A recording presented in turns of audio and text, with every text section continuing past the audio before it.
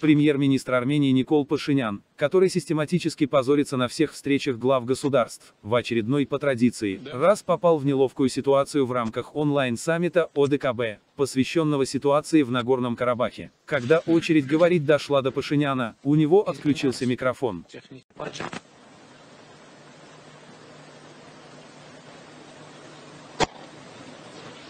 Да.